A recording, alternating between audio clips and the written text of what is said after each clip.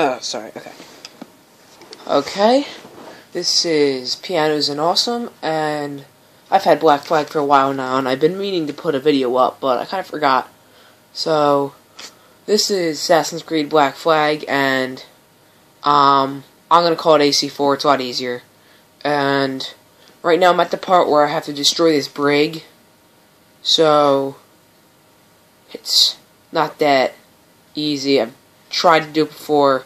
Last time I tried and I kind of failed. I kind of tried to shoot it and it didn't work. And if you hear anything in the background, I have two dogs and they're kind of nuts at some point. So, sorry about that. And yeah, here it is. So, there's the ship on the horizon. I'm going to try to shoot it down with these cannons, which are the main heavy cannons of the game. This ship has quite a bit of armor, and as I found out before, it tries to ram you. Yeah, that flashing red light means it's about to shoot, and it just shot me.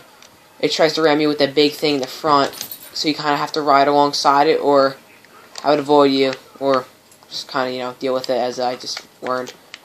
You can shoot barrels off the back, but those are limited. And you always have to watch out for rocks. I've hit a rock a few times. It's not fun. If you'll excuse that nice bright light on the TV, that's the... I do not have a PVR. I am just using my phone to record this. And so I'm just trying to deal with the glare of, the light of the TV. Those front cans you just saw, um, I forget what they're called. They were in AC3, Assassin's Creed 3. The, this ship is a lot more durable and agile than the.